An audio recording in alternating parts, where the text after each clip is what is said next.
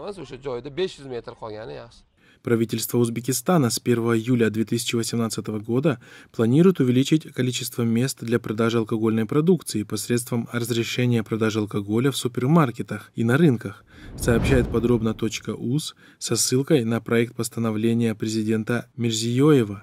agar biz ertaga farzandlarimiz komil sog'lom bo'lib ulg'ayishini xohlasak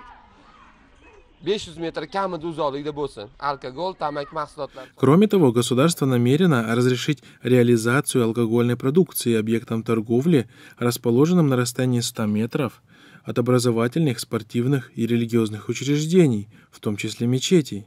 Также с 1 августа 2018 года производителям алкогольной продукции будет разрешено реализовывать собственную продукцию через свои фирменные магазины.